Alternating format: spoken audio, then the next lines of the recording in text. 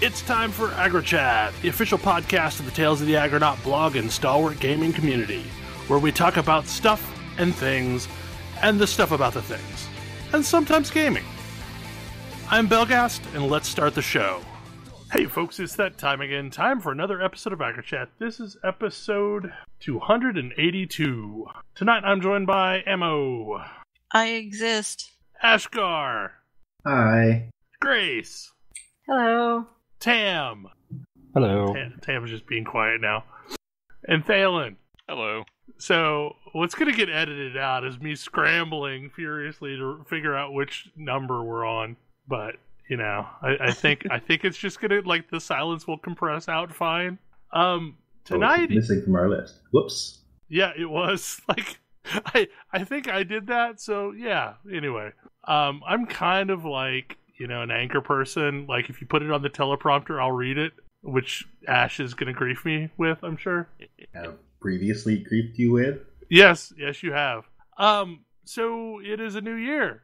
Um, this is because we don't know how to do what we're doing. This would be the beginning of season seven, or or our seventh year of podcasting, something like that. Anyway, happy 2020.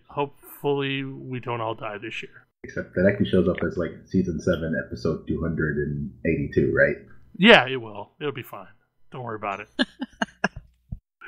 you know, when we were asked to pick between episodic content and seasonal content, I was the why not both girl. Um, so yeah, like this is the beginning of a new year, and we usually do one of these big shows where we talk about the games that were important to us in 2019. Um, and we do so in the form of a Google form and then Ash dutifully tabulates all of that nonsense and, and boils it down to a list, uh, which is usually somewhere between like 10 and 16 games. And we're at 13 this year, so there was some overlap. Yes. Um, and and there usually is, but like there was a significant amount of overlap. I, I found that interesting, and we will talk about that more. But let's start the list off with Trials of Mana. Trials of Mana.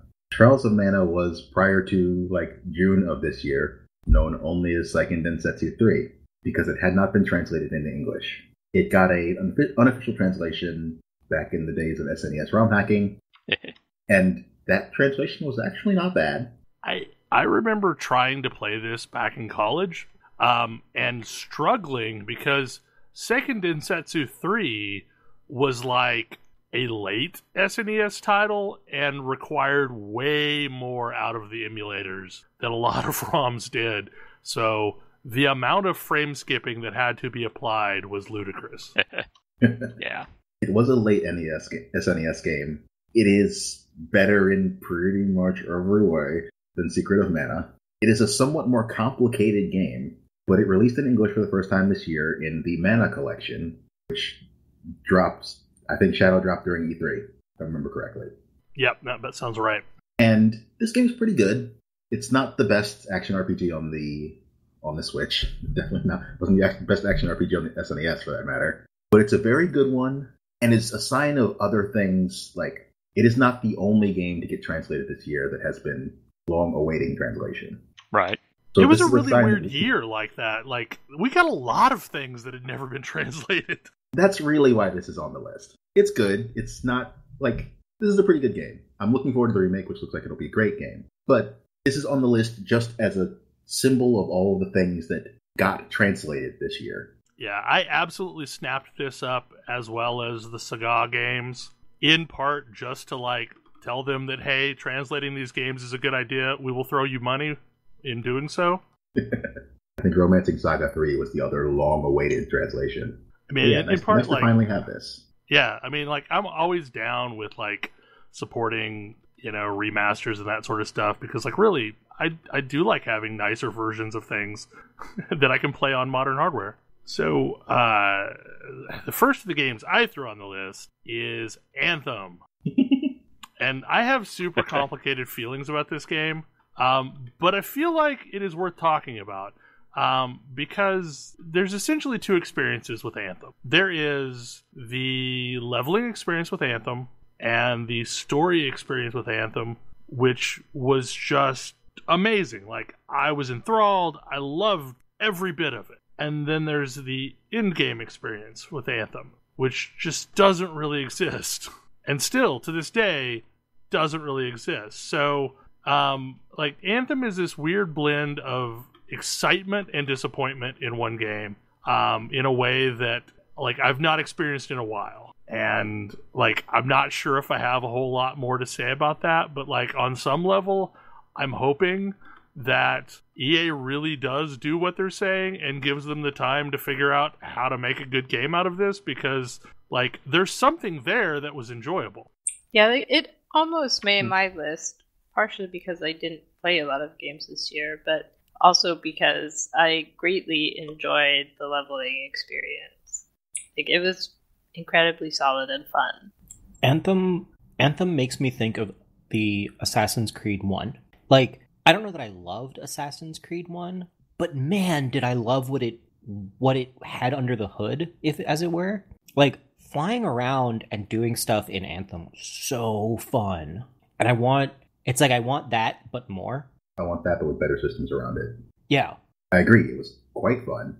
I would love to see them somehow pull a Realm Reborn type scenario where they just relaunch the game once they figured out how to make it into a game other than just a, a tech demo and just I don't know, like like I would even give them more money if that actually happened.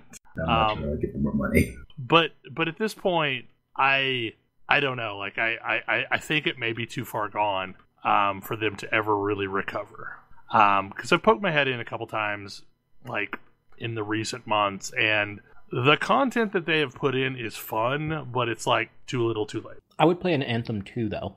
I would absolutely play an Anthem too. Like like in a way that I didn't think Destiny 2 needed to exist, that they should have just, you know, kept, you know, improving Destiny 1. I absolutely think Anthem 2 is is a worthy thing. Um like maybe not call it Anthem 2 though, because we really didn't get Anthem 1. We got a tech demo. Um yeah, I don't I think that's all I have to say about that. Um next one on the list I don't know for certain if I put this on the list or not, but I think I did. The Outer Worlds. I also think you did. I I have been waiting for this game for a while and I thoroughly enjoyed it. I've not quite beaten it, but had I not fallen into a Witcher shaped hole, I had planned on on doing so over the, the holiday break. Um I really liked New Vegas and I am happy to have another game kind of like that in a brand new IP. Um, I am super interested in the world of Outer Worlds, even though it is super bleak and corporate hell. I I am very interested to see more games in this series. Um, Yeah. Like this was a this was a great first game in this series, um, but I have a feeling that they can go so many more places um, now that they've basically proven that they can do their own version of a Fallout style game. I I really like this game. Um, I haven't beaten it yet, but uh, I liked having a Fallout style game that wasn't in the Fallout universe because I don't actually like that style of post apoc. Same. I I do like the corporate hell version of it. I guess. Yeah, I'm very totally with Grace on this one. Like, a- agree with all of that. I mean, um, if if nothing else, I I really appreciate that it has a full color palette, which admittedly is a problem with like you know Fallout Three and Fallout New Vegas. It's less less so with Fallout Four. New Vegas didn't have that much of a problem with that. New Vegas had like a very yellow color palette. Fallout 3 had a very green color palette. Um, in both cases, there were mods that like applied normalish looking textures that made it look green and pretty, and I usually ran them. Um, but yeah, like I, I just want to see. I, I want to see them do more with what they, they, they did with this game. Um, because like there's a lot of things that they did really well um, but it was kind of in some ways limited. Like you could tell this is the a, a, an attempt at something new, and they probably got their legs underneath them as they continued on, and I would love to see what the sequel ends up looking like. Or, I mean, even not even a direct sequel, just another game in this universe. Okay. Devil May Cry 5. I'm going to guess Tam? Oh, that's mine. Okay. Ammo. So the Devil May Cry series is one of my guilty pleasure series. Like I'm pretty awful at actually playing them, but I tend to have a good time anyway. So it's also I- a really cool setting. Yes. And like I didn't get to have a lot of time with this, but I borrowed it long enough to beat it and I felt like it had enough of the kind of cheesy ridiculousness that I really enjoy from the series. Like sometimes it's it's pretty silly, but it it's still enjoyable and I felt like it was just the right length that it was satisfying and I felt like the combat even though I'm not great at it, I still felt like I was doing some really cool stuff and the bosses left you various ways to get through them and beat them and just kind of be creative even with like what skills you have and I just thought it was a really nicely presented package like it was um I don't know it was just really enjoyable to go through. I just sat down for a couple hours like uh for like a week or whatever and I just I had a really great time playing it. This probably would have been on my list if I had played it. Four was four was definitely one of my favorite games. The Yeah. uh, sort of reboot in between that I wasn't a big fan of because they got rid of all the silliness and made it a serious story. Yeah. The one that was just DMC. Yeah, that one. It's like Yakuza. Kinda, yeah. Like this, we're telling a serious story about a war between humans and demons, and no, nothing about this game is serious. Hmm.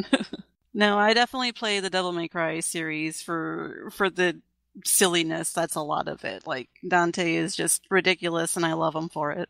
But um, yeah. So you get, of course, you get to be Dante and Nero from four again, and then they add in V, who is a very different sort of style, and I actually enjoyed playing as him quite a bit because you're actually kind of controlling like shadows that turn into his various animal creatures and stuff. And it was really kind of unique and very different from the other two. So all around I thought it uh it just had a lot of variety and yeah.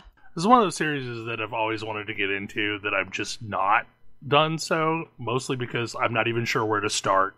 Four, start with four. Four. Four, four, and basically forget the first three. Yep. yeah. Okay, deal. I mean it's kind of cool that they're on the Switch now, but I mean just yeah, start with 4. I mean, I'm probably going to definitely pick up 5 for myself at a, you know, at some point because I would like to put more time into it and just practice it and try some of the different things. Because I think if uh, I remember correctly, there are a few paths you can, you know, play as different characters, but I only had time to really go through it once. So you kind of just went crit path. Yep. Okay, Sekiro: Shadows Die Twice. This is probably a Tam. Yeah, this is me.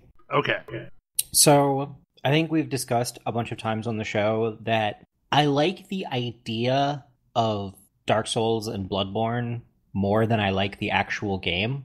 Um, and I liked, I kind of liked Nioh, but it it still was a little bit too memorize this space and get it perfect. Um, whereas like the actual moment to moment combat wasn't as important as memorizing the map. And I don't really love memorizing maps. Just not. It's there's a variety of game genres that I don't really play because I don't care much for trying to memorize a map. so is that is that why you uh, sometimes have issues with Metroidvanias? It's 100% of the issues why I don't really get into Metroidvanias because they're I don't like memorizing maps. I mean, I don't really like memorizing games. There's some stuff that I'll do enough that it becomes second nature, but like memorizing memorization as a game mechanic is not one of my favorites. And it's always kept me out of this style of game.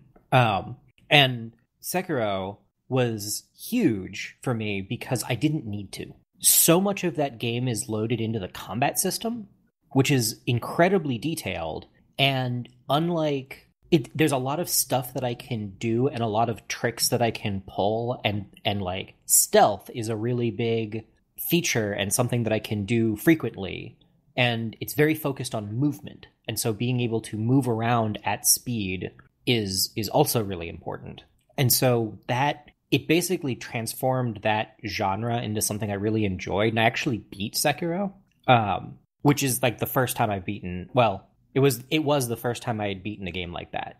Um, I also really really love detailed sword fighting, um, which this just delivered in spades. It was like I've got a bunch of tools, but a lot of it is I do interesting things fighting with my swords, and like there are there are a br- variety of varied enemies. It didn't um, it didn't really delve too far into the we don't know how to make human enemies interesting anymore, so now you just fight monsters, which was what kind of turned me off of Nioh about halfway through. Hmm.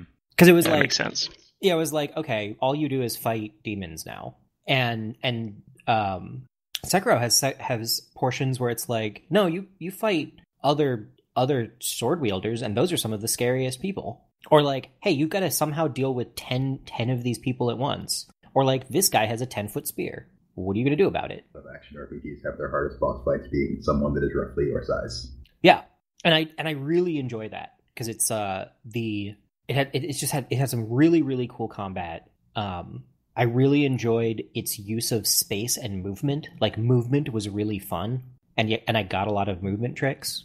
Um, I like the theme more. Like it was a really cool theme, uh, and and weirdly grounded. But yeah, I, I was a, I was a huge fan. I really enjoyed that game. It's it was fast. It was exciting. It has a real steep learning curve, but once I got over the initial hump of like, here are how the basic mechanics work, uh, it felt really, really good. Just like moving through the space and fighting people, and being either a ninja or a samurai as the uh, situation called for. Okay, so the next one on the list, um, I'm actually surprised only made it on one list, um, and that is World of Warcraft Classic. That was me.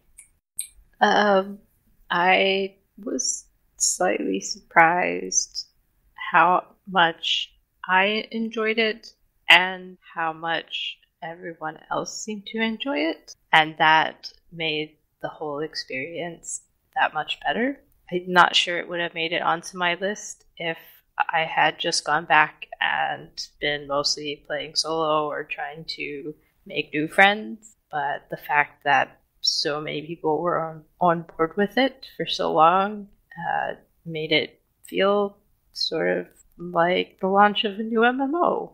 It was tons of fun. And it also, I think, certainly reminded me and possibly reminded some other people or confirmed for some other people that no, I mean, some of my feelings about my early days in WoW are nostalgia based, and I accept that. But also, there are just some things that I absolutely enjoy more from those old systems that are gone in the current retail version. And it was just a blast to go back and re explore those and just, I mean, laugh with strangers about how often we were dying and having to run back to our bodies. Yeah, I'm I'm really hopeful about maybe and maybe maybe this is uh this is hope I is me being too like optimistic, but I'm really hopeful about some potential future MMOs because I feel like I want to revisit that time. But I'd, I'd love to revisit that time with like modern stuff. But like WoW Classic was a lot of fun to like as you said remind myself that no, it wasn't just nostalgia. Yeah, some of it was legitimately fun. And also, I was fairly shocked at the overall community. So it was fun, and, and I was happy that so many of us were playing. But on top of that, I was really blown away by the community of people on our server, at least, who by and large were not assholes. Uh, and the interesting thing about that, though, is it like it seemed to not just be our server. Because like I had pockets of friends playing on lots of different servers, and for the most part, like people were on board with this is a second chance kind of thing. Like let's let's try and see what we can do. And I still see people like posting you know, raid shots for Molten Core that they like finally were able to get in there and finally cleared it and how proud they are that they, they managed to, to, to kill, you know, Ragnaros and like that's awesome. Like that's really cool that, that people have stuck with it so long. I mean, if Blizzard hadn't screwed up some other PR related things, I Mhm. probably would still be actively playing. Same, and it would probably be on my list for the year. Yeah, I got to play it more. Yep. yeah. The, the the big problem that I had is is when that whole thing happened, um, it just like killed any forward momentum I had. Yeah. Like, Yep. I think it's an incredible shame because I think we all had quite a bit of forward momentum and we were having a good time, and then all of the wind just went out of our sails immediately. Yeah, yeah, because I like I had just hit level fifty and was really looking forward to getting back into the BlackRock instances. Ah well, but yeah, I'm also really really hopeful that you know maybe people will look at the reaction to the game and just be like, oh yeah, pe- people did want those things. All all this stuff that got all all the stuff that got optimized out of the game over the years. Like there there was demand for that after all. Yeah, well, I mean, and and in a similar vein, a lot of the a lot of the things that brought people a lot of things that brought people to WoW and other MMOs because it had like a little it had like an interesting detail that other games didn't have like persistence or you know something to strive for over a long period of time or or whatever a lot of that is are in other games now Yeah, every game has that now. Yeah, like a lot of the a lot of the like really interesting, unique MMO mechanics uh, have been adopted across the rest of it, or rest, rest of the the games industry, and like I wonder, I'm, I wonder if, and I hope that it means that we can go back to like that. Those games have carved out that space, and now maybe MMOs can you know have a resurgence where they focus on what they do that nobody else does, which is like this big persistent space that you occupy. Yeah, and I, I guess that's we've had various forms of that conversation many times in the past, but like the thing that, that the always on aspect of an MMO used to be the commodity that like that got us into those games, but you know, WoW Classic, you know, more or less proved that like there was some of that functionality that was unique to WoW that we are missing in other games and I, I hope someone can you know take that and turn it into something new like as much as i enjoyed revisiting the past i'd really like to see new versions of that and new worlds Like I I would still love to see a game that actually like successfully did what the devs originally wanted to do, to do with Ultima Online. I don't know if that's even truly possible, but it would be pretty cool. okay so another interesting game that came along greedfall tam is this also a you Yeah. So Dragon Age Origins was great. It's very it has a particular world and I think and I think Kodra has commented before. He's not here, but he's commented before about how he doesn't really didn't really get into the setting of Dragon Age, which I can understand because it's doing some very specific things that it's easy to bounce off of. Uh, so is Greedfall, and I and it's interesting to me to see games at a really high level. It's interesting for me to see games exploring different different settings because you don't you don't actually see a lot of like age of sail era games for the most part but um but at the same time like part of the reason that you don't is because they're sort of fraught like it's really hard to with a straight face make a game that glorifies imperialism and so greedfall doesn't. Like openly and aggressively doesn't. And yet that's the world you're in. So you so you end up being you end up in a in a situation where like you have a surprising amount of power and authority and the question is to what ends do you wield it? So kind of like so kind of like tyranny. yeah. It yeah it reminded me a lot of tyranny But, like- explicitly the villain. yeah unlike uh, well uh, Well, yeah, okay. like depends on your definitions. Like tyranny is pretty black and white about it. Greedfall kinda is too. Like it doesn't it doesn't pretend that this situation is good in in any way but it's also complicated. Uh, and it does some it does some stuff with the setting that i think is creative and interesting.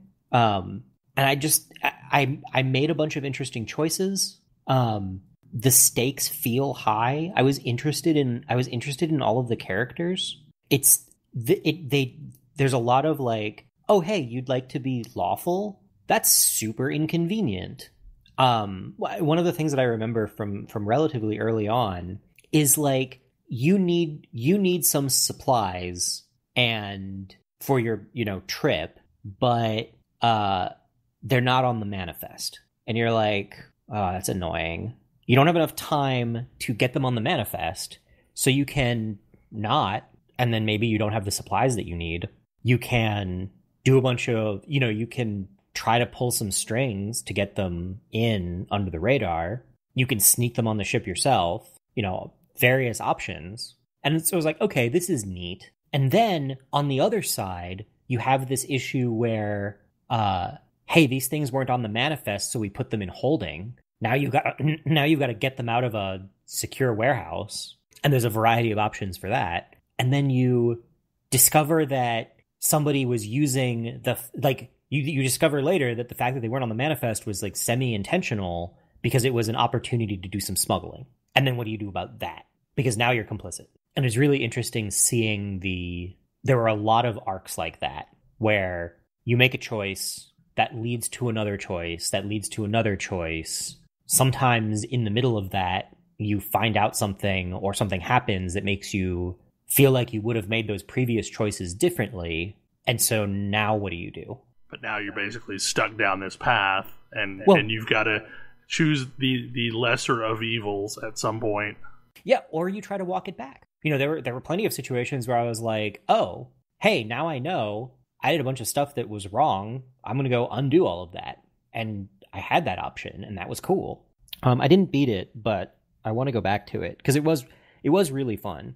It was an experience that reminded me a lot of playing Dragon Age Origins. I did not make it terribly far. It does not have great mouse and keyboard controls. Uh, no, this is 100% true. It does not have good mouse and keyboard controls. I kept hoping maybe that would get patched because I would far rather play games with mouse and keyboard controls. This one, uh, I this one, uh, I wound up playing with a controller, and it was it felt much better on a controller. Um, I liked this game enough. I played it a bunch on the PC, got frustrated with the controls, and actually liked it enough that I bought it on PS4 and restarted it so I could play it with a controller, and it was much better. It is not the only game on this list that is playable on PC, but better with a controller. I mean, that other game supports controllers on the PC with full buttons for whichever controller you decide to use. Yeah, that part is nice. Okay, on to Fire Emblem Three Houses, the first game on the list so far that has multiple picks. Because this game was good. I mean, all these games are good. This game's real good, though. I am still enjoying this game. How many how many different playthroughs have you done so far, Emma? Um, I've done one. I've watched my husband do a second one, and so I am working on my third now. I really I joked for a while that I engaged more with Three Houses memes than I did the actual game, and then that became actually true. Uh, and I really need to play more of it because I really didn't. I really enjoyed it. I actually have a copy of it now. I don't have a Switch to play it on yet. That's a slight That should arrive tomorrow. Okay, one of us. One and a, one and a half times. I suppose. Game, roughly. I, I've not picked it up because I've not had time to play it. Um, but I know at some point I will try it because I've never played a Fire Emblem game other than the mobile game. This is a perfectly fine one to start with. Exactly. I've heard this is a really good starting point. Yeah. Yeah, same here, surprisingly enough, because it like everything about Fire Emblem sounds entirely up my alley. I don't know why I've never gotten around to playing one before. Because the first one that made it sound that way was Awakening on 3DS. Yeah, maybe. The rest of them have also been on 3DS. I mean, I have a 3D. Yes, and that that is a truthful statement for me too. I mean, I think I think also they've always sounded like they're going to require a whole whole lot of time investment. that's still kind of true, but not in large chunks at once. Like this is a pretty long game. It doesn't require long play sessions. That's good. Yeah, Yeah. I, I like that quite a bit about this. Like, I could just play for a little bit. A lot of times, you know, just before bed. This was like my before bedtime game for for quite a while until I beat my first uh, route. Yeah, I think whenever I I tire of Diablo 3 on the Switch, I will probably pick this up and make this my new before bedtime game. Three Houses manages to not be as uh, let me just say it, not as creepy as previous uh, entries in the series. Doesn't really have you making playing matchmaker quite as much Mm-hmm. to generate ideal kids. Yeah, that's a bit weird. It's been a running theme. It's not quite not creepy, True. but it's less creepy. Well, and doesn't this one also have the option to not have permadeath? It yeah, does. it's been an option since Awakening. That was the piece that always kept me away from these games up to this point because like I feel like if I'm invested in a character, I don't want to lose them.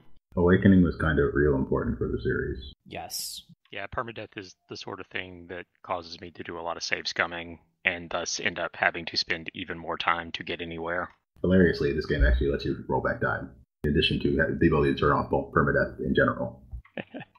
Yeah, I definitely turn off permadeath because it's more interesting that way. Or at least for me, because I get to have all of the characters. Well, there are certainly some very entertaining characters. and some very character characters.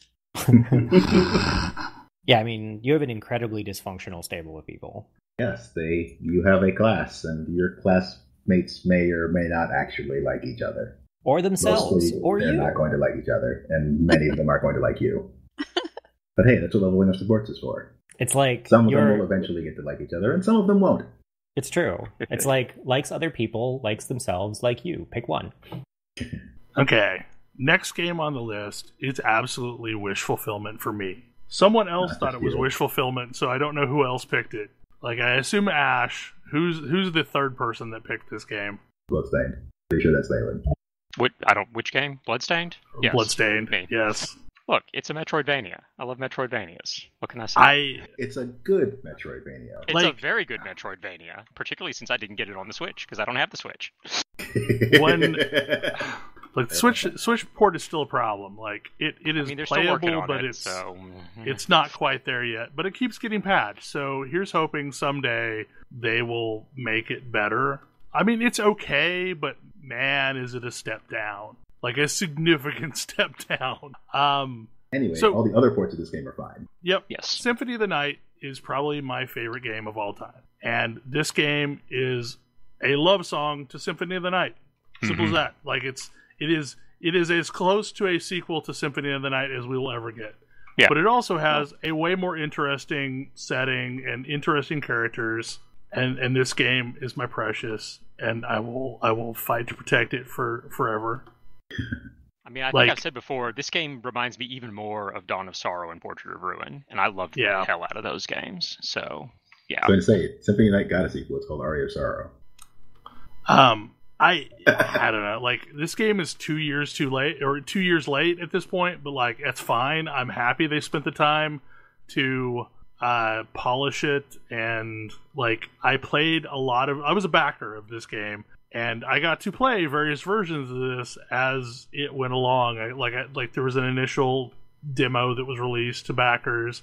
Then we got like an alpha version of the game, and then like I don't know, like three months before release, we got basically the full game. Um, and between each of those, like I still have them all installed on my system. And it is interesting to look at the progression of this game because it just kept getting more and more polished. Like when it reached alpha, I was admittedly perfectly fine with that game launching. Um, but man, they, they, they redid tons of stuff between that and the eventual pre-launch client and even the launch client. So I I am impressed. I'm super impressed with how this game turned out. And the wild variety of playstyle that you can have. Yeah, just the, the massive number of different weapon types and the different crystals that you can equip.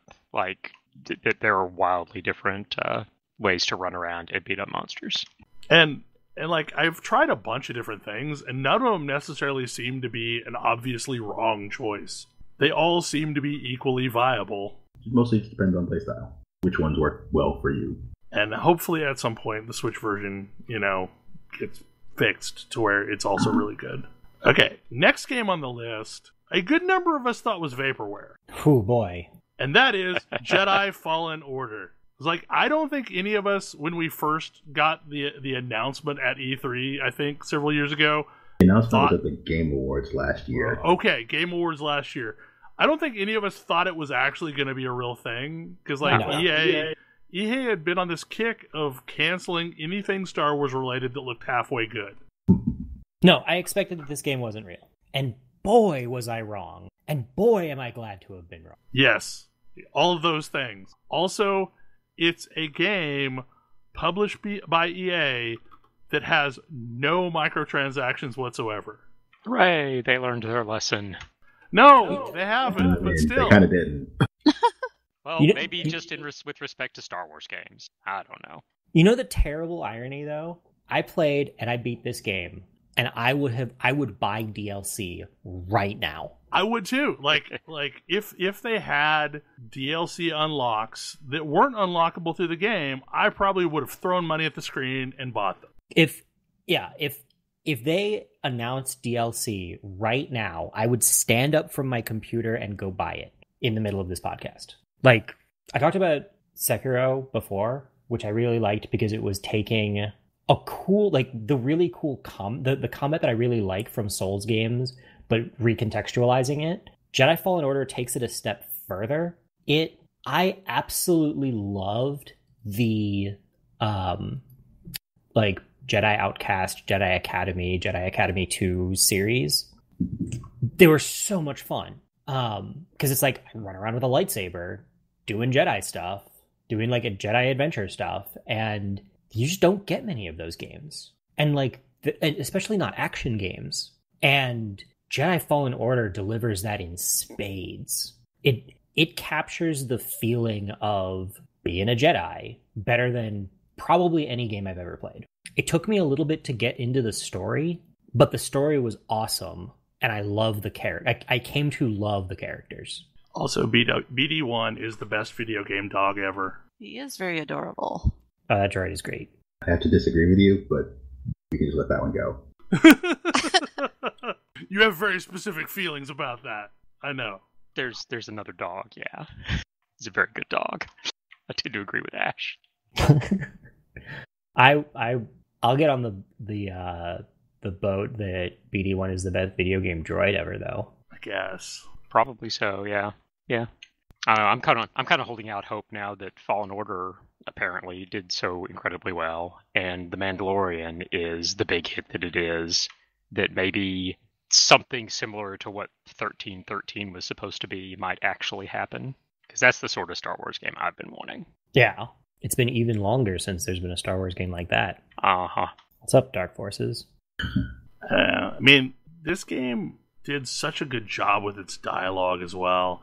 Because, like, so much of it is just you're running through the planet, but, like, you're also commenting on what you're seeing, and it's kind of telling more story than.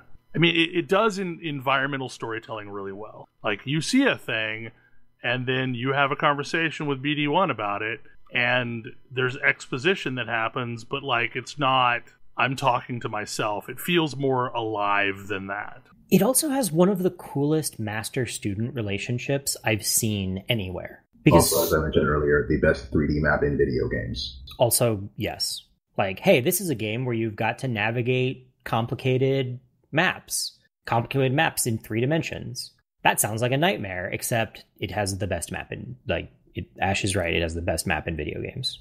To the point, the map is so good that I'm, I've been going through and working to 100% it because I can actually do that reasonably. I want a, uh, I can't remember her name, the master in the game, but I want a game about her because she's so awesome. Cere? Cere, yes. I want a game about Cere because Cere is so awesome.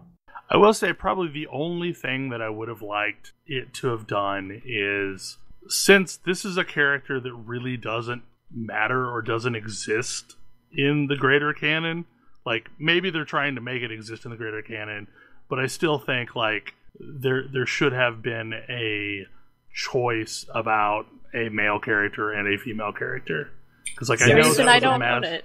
Like it was a massive turnoff for a lot of my friends that like it does not make sense why that was not a choice that you got to make.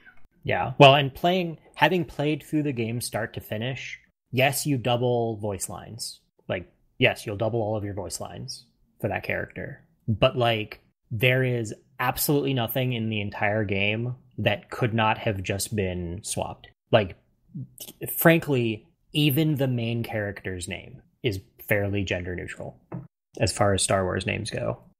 Yep. Like that, the game absolutely could have been, and it wouldn't. I mean, it wouldn't have been that much difference from a uh, from a what's this what's this called from a animation standpoint because the main character is a fairly average body type and is wearing a poncho like 80% of the time. Right. Like all of your your cosmetic options are like different forms of ponchos. Yeah. And like I I will say I don't know how I feel about running around in a poncho all the time. Look, But- are defined. Yeah, I mean sure. But yeah, I'm hoping that I'm hoping that this is the start of a series and that they I'm not even sure I want to say it, I want to see them do better with representation because that game actually is super great at representation for every character except the main character. Like it's just got this selection of really cool characters from a variety of places, from a variety of places that all play interesting roles. And the thing is, is like I get probably the calculus that went into this decision, since I I get this feeling that this is a game that EA didn't want them to make in the first place. I understand that there's But it- calculus, but it's it would have calculus. improved it. Yeah, like it Yes. would have improved it greatly. This one thing would have improved it greatly. But it's also it's also like the best Star Wars game I've ever played. Like even after even after that, it's the only one that competes is KOTOR. Yeah, yeah. And it's like, I, I remember making that comment when I was first playing it, um, and and I don't mean that as like a. I I mean, it gives people the wrong impression that uh, it's a totally different type of game than Kotor. Like, Yeah. that, that is not what we're saying. It's just this is the best Star Wars game that I've played since Kotor. Like, it's the the first one that that makes made me feel like Star Wars as a whole has made me feel over the years while playing it. Like, it does an amazing job of of letting you sit down behind the eyes of a Jedi and like all the decisions that would come into play because of that and like it does a good job of making this person that has all these powers solve interesting puzzles with them. Yeah, and it and it really drives home how much your like even even a Jedi is not a one person army who can do everything and succeed at everything and win at everything. You need those other characters. And they're really really important. Like I've seen so many games where uh and especially Star Wars games where like you have the the master student relationship. And a lot of it's like why isn't the master doing anything? Is it some weird test? Like that doesn't make any sense because the stakes are kind of too high for that to be reasonable. Is the master secretly evil? Because that's a common trope. That's a thing that's happened before. yeah. And like and you sort of wonder about it. And i never wondered in this game because it's like oh i know what these characters are doing and they're doing things they're not doing what i'm doing but they are an they are active players. And like to some extent i'm the muscle. Like they're solving the hard problems. I also solve some hard problems. But like we're all in this together. And there are not many games i can think of where a non-playable basically like a non-playable character who like isn't in a party or whatever actually feels like a party member narratively. Like persona does it and I mean, I I- feel like feel like like like there's a couple examples that have existed. Like I always felt like Joker felt like he was a party member, even though you never got to play him in Mass Effect. yeah joker's another one yeah yeah yeah joker's great for th- yes joker is a great example of the kind of character i'm talking about because they fe- joker feels important even though he's not like down there shooting a gun and in fact is doing some stuff that's arguably more important a lot of the time Yeah, anybody can shoot a gun.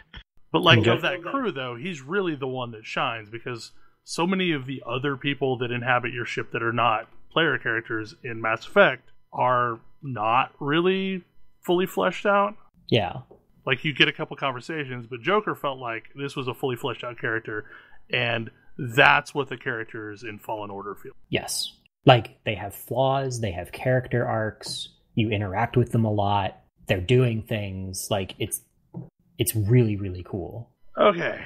Next on the list, Untitled Goose Game, also chosen by three people. Honk. Honk. Honk. It's it's just such a nice game. It's so true. I mean, it's not. You're not a nice per. You're not a nice creature, No, you're you're not nice, but the game is nice. but the game is nice. That's why it's so important that you not be nice. One of the things I enjoyed most about Goose Game was just loading it up on my Switch and then handing it to my husband or one of my friends and just like, here, try this. And just let them start the game and just start walking around and from the word, well, honk, just learning how to be a goose and then be absolutely terrible. And just watching the delight on their faces as they realize just how terrible they can be and how fun it is. Yeah. Yeah, I think that's a really important thing about this game is it's a game that like I mean you're you're a bad guy. Like you're the villain, but you're a goose. Just being a goose to people. So you don't feel bad about it. It doesn't make you feel creepy like, you know, some games that put you in the villain role. Like you're just, you know, stealing a gardener's rake. I don't know. I really wanted that picnic. So I got that picnic. well, I mean, it it helps that you mostly aren't hurting people. Like you're annoying them a lot, and they get like frustrated and exasperated. But you're you're a waterfowl. Like I mean, this game is true to life. Geese are horrible. they are. it's true. It did Like- produce some pretty good memes. Like, growing up, I had a friend that used to agitate her goose, and then she ran faster than I did, and it would come attack me. Like, it's a thing. It's a it's a real thing. Goose is mad and somebody's gonna suffer. And the other thing is, it's it's a puzzle game, but if you get frustrated and annoyed at the puzzle, which happens because it's a puzzle game, you have an outlet. You can just like tear around honking and causing havoc, which is hilarious and a delight to like blow off steam as you figure out puzzles. And sometimes doing that is a good way to solve the puzzle, if an inelegant one. But whatever, you're a goose. You don't care about being elegant. Well, so the beautiful thing about that though is so oftentimes like when you get pissed off at a game, you it will let you make decisions that will have screwed you over. Like Yes. nothing is isn't undoable in this game. Like like if you if you just stop doing anything, the citizens will reset the game. Well, and also your your goal, your entire goal in the game is to wreck stuff up. So the thing that you naturally do when you get annoyed, well, you're that's what you're supposed to be doing anyway. So great. Yeah. You're you're progressing the progressing the goal. And like each of the it's there's so much personality in a really straightforward art style. I don't I don't think I have giggled with mad glee as often in a game as I have with that one in a while. and like the most interesting thing about it is like there's a weirdly deep story behind it. It's Yeah, a like, there's a disturbing more- story. There's a lot more going on than I was expecting. And I it's think we, we talked about that at one at like on a show, and yeah, it's just like that's that's weird. Like, okay, so another small-ish game that was just charming as hell. Uh, Baba is you, and this was chosen by four of us. Baba is win. This was nearly on my list. It was absolutely on my It's a good list, game. and like, it's very much not normally a me game, but I loved it. It was really close to Like the last game that that I played that I felt this way about was uh, Thomas is alone or Thomas was alone. Thomas was alone. Yeah, that game Yeah. was also fantastic. But like it is it is a super charming game. Um, it takes a few seconds to be indoctrinated into how the game works, but it also keeps mixing things up constantly to where the rules of play are always slightly shifting. So you can't it doesn't get stale. Sometimes you can shift the rules of play, mm-hmm. I mean, that's primarily what the game is about. and it's so much fun. I feel like it's a game about programming logic, like really. Yeah. At the end of the day. I mean, to ex- to a great extent, you know, figuring out the game is about like getting rid of your preconceived notions about what these various objects are in the game, because any object can be anything. You just have to, you know, change the code for it. That water, that water doesn't have to be water. It can be a wall. It can be a wall and water. Yeah.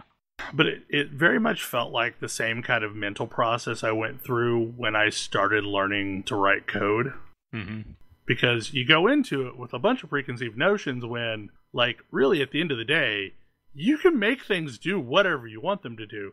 Like, you may have a limited palette of things that you want that you can actually accomplish the goal with, but like, there, there there's no not being able to do a thing. It's just the amount of time it takes to do it. Speaking of time, this game does not have any time pressure really at all. It lets you roll back your turns. Yeah. Yeah, Sometimes that's there are some moving things that cause some amount of time pressure, but yeah, but that it's so huge for a game like that where you want to have time to puzzle through things and not just beat your head against a timer. And this is another game where, you know, it's primitive art style, but it absolutely fits what's going on. Like, it is fine. It is, I, I, I could not see this in any other way. And that's part of what led to the charming nature of it was how primitive the artwork ultimately is. Maybe think of Dr. Katz, the cartoon. Oh yeah. It's got the like wobbly lines, but but calmingly so. You got me thinking about how much I would love like a Dr. Katz or a home movies video game. Oh, God. I haven't Wow. thought about home movies in a really long time. Ah, early Adult Swim. So we've been going through this list way faster than I expected us to because we're now at the last pick on our list. Um, and this one had five people choose it. And that is Final Fantasy XIV Shadowbringers. I mean, it was just a really impressive game in every respect. yeah. I mean, it's probably the best Final Fantasy game I've played. It's definitely the the story of this one was my favorite of the FF14 story, Yeah, very much same. agreed. and it it wasn't just added on; it was really sort of a culmination of a lot of things, which felt good. Yeah. it tied up so many loose ends that have been sitting out there for a while and like it's not a story that could have been told without those existing i don't think But it also left so many, so many. it answered a lot of questions, and it asked even more, even bigger questions. And I love it for that.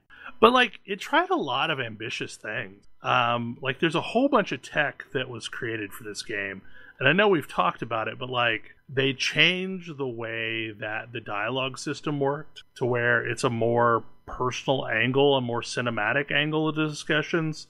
And as a result like the whole game felt more less mmo and more just a really good rpg I mean, I've been saying they could make a single player game out of the FF14 story since basically since Heavensward. It sounds like they're redoing the parts before that to maybe make that also true. Yeah.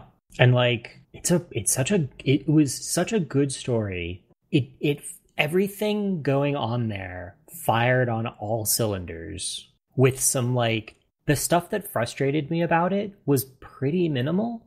Like my class was misery to play. And so I switched to a different one because the game makes it relatively easy to do that. how much additional story has been released since launch There has been one major patch since launch, Yeah. starting to go into how we're going to clean up some of those loose ends.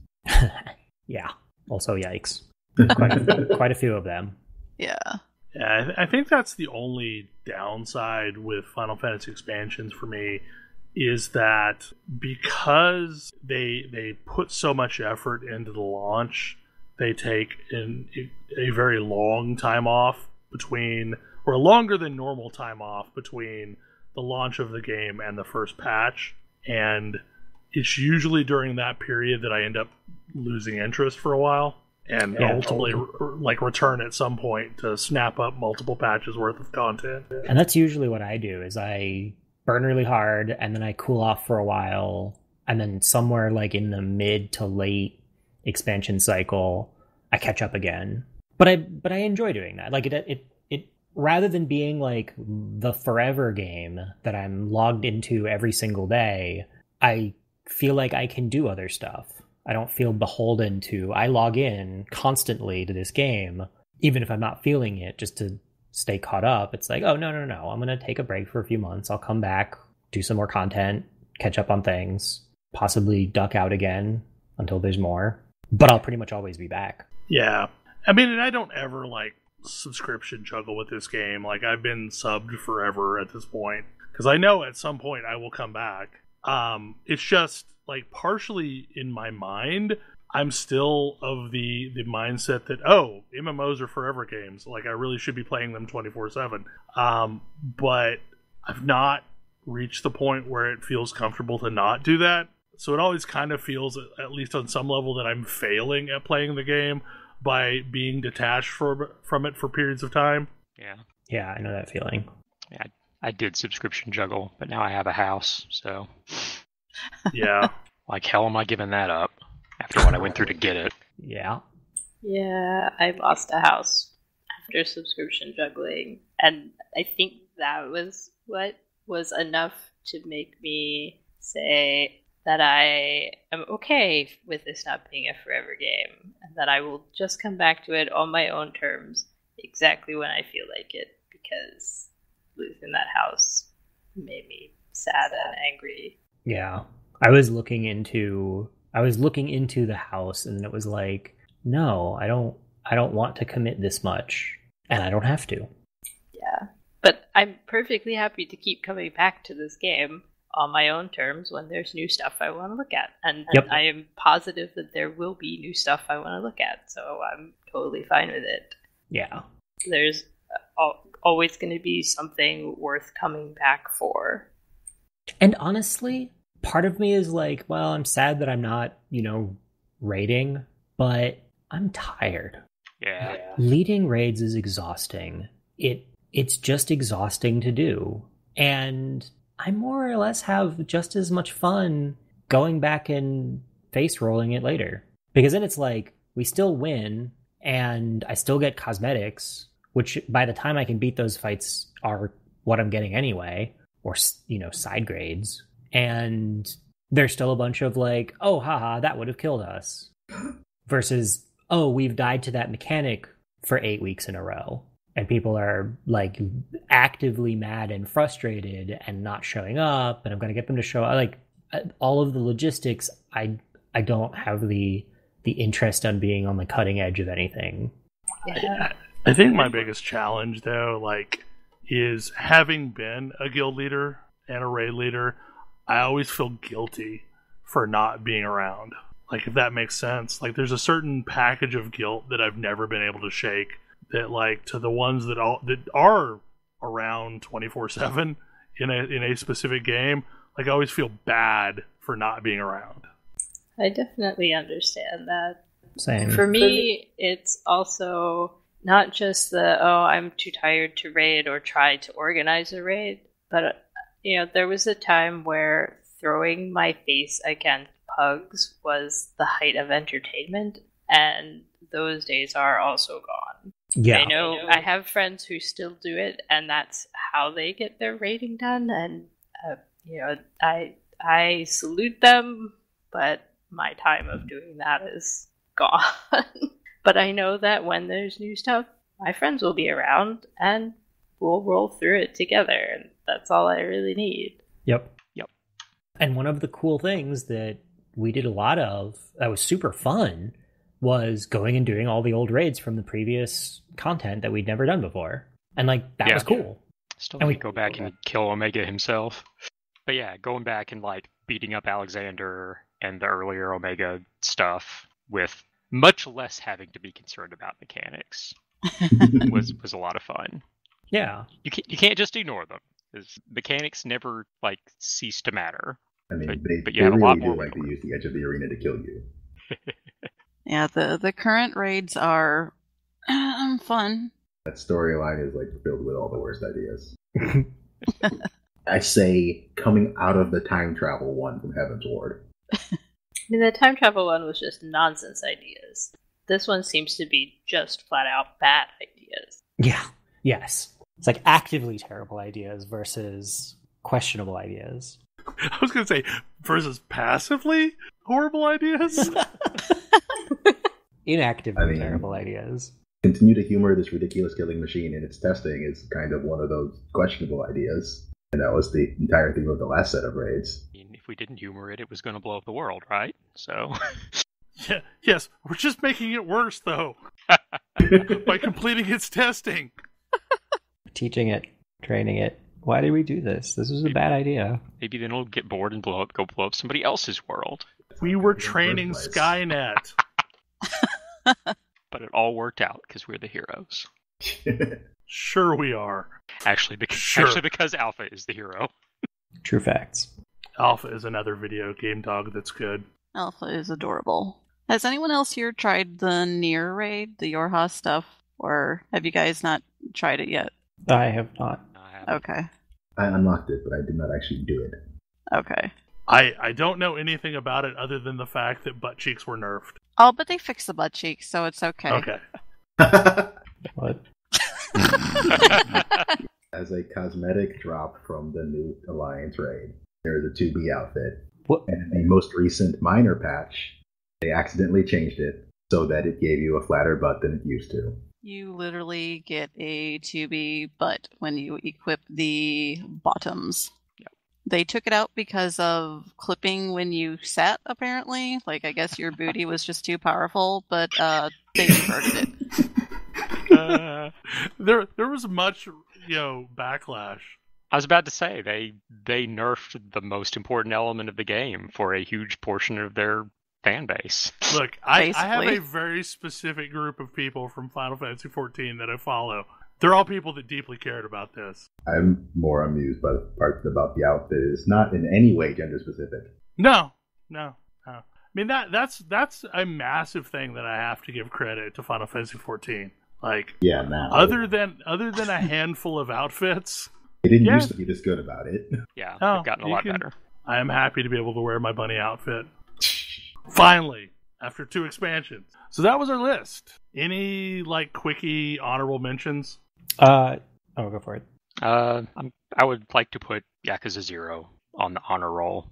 I feel like it's. I didn't want to put it on my full list because I didn't actually start playing it in 2019, and it's certainly not a game from 2019. But I've I've been playing it again, and it's it's just so good and I'm so entertaining. excited. I'm so excited about other people playing that game because they're so good. It's so like there's no series of words that I can put together to describe that game effectively enough to make somebody be like, "Oh yeah, that seems like a game I want to play." But it's so it's so fun. the game is so. It's Oh, it is. absolutely ridiculous. It's like one moment it's like, okay, now I'm engaging in an incredibly dramatic fight with one of the lieutenants in a sewer. And now I'm helping a dude that got his school uniform pants stolen by some weirdo. Yeah. So I have I've never played any of the Yakuza games. Is this a good one to start with?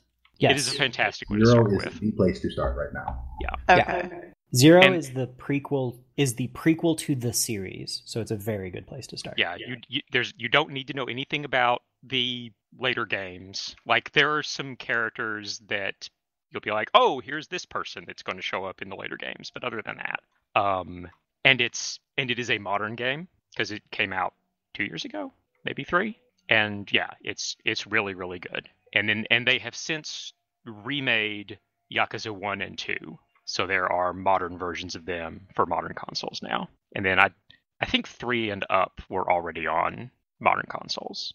Not sure. So I've got two honorable mentions, um, and they'll be really quick. Uh, first one is the Shadowkeep expansion for Destiny 2 is really good, It is. and the seasonal content that came along post its launch, I really like how they're doing that. I mean, it's the Fortnite mastery path concept, but like it's fun. It, there's a bunch of interesting things to unlock. Um, the events that go along with it are really good. Like they're really good additions. Season of Ah. Undying was pretty good. Season of Dawn, I think, is better. Yeah, yeah. The sun sundial is way better than the Vex invasion, and, And I like the Vex Saint invasion. 14. Also, Saint fourteen. Yeah, like it's it's more interesting. Like it it it undoes some of the things that annoyed me about Vex invasion. Um, and it's also a better version of the menagerie. Yeah, they, they basically took the menagerie system and used it again, which is Yep. Is fine.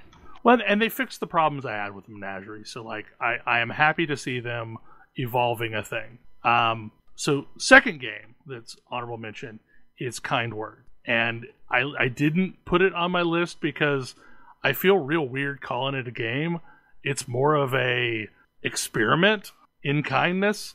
Um, but like I really enjoyed it, and I would absolutely suggest this game if you ever find yourself being in a low spot and need cheering up because you're going to be in a sandbox where people say nice things to each other. And it's totally anonymous. So it's it's this weird case where like anonymity didn't end up in toxicity. Like I think there's an element of moderation going on to assist with that. But yeah. Yeah, but I don't know how much they can moderate it because like it's a really small outfit and there's a lot of messages that are going back and forth in it. I know there are like three Discord communities devoted to, to it, so it, it is interesting. It was also a delight, and it was a runner up for me. There were a number of games that I played this year that were just delightful, and I really, I really enjoyed that. Um, I do have one. I do have one runner up. Uh, we'll probably talk about it more soon, but for Kodra's benefit, uh, Pathfinder Two released this year. Um, I don't know. I have I've I have not played enough of I have not played enough of it to have a to have an opinion, to have a fully formed opinion. Um, there's some stuff that I really like about it, and certainly it has consumed the like tabletop role playing conversation with our group for quite some time. Um, on paper, it's really really cool, and I like it a whole lot.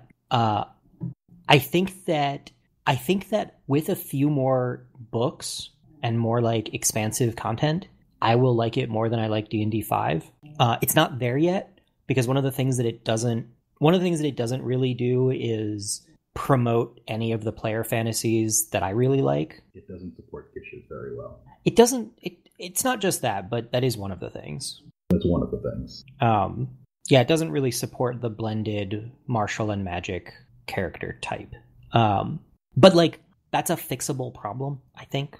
Like there's nothing there's nothing about it that I don't think can't be fixed with a book release, which is a really good place for an RPG book to be. Um, we'll probably talk about it more once Kodra is back, but but I feel like it was worth mentioning because it's it's really neat. It's really interesting.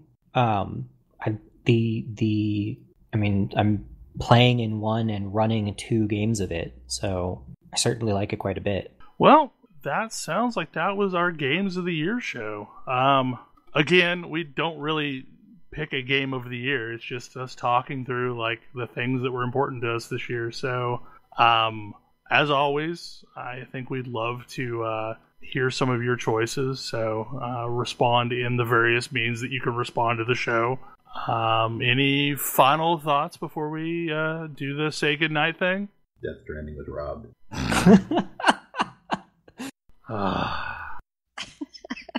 Best postal delivery simulator ever. Anyway, hopefully you enjoyed the show, and we will see you again next week. Good night. Good night. Good night. Good night. See you.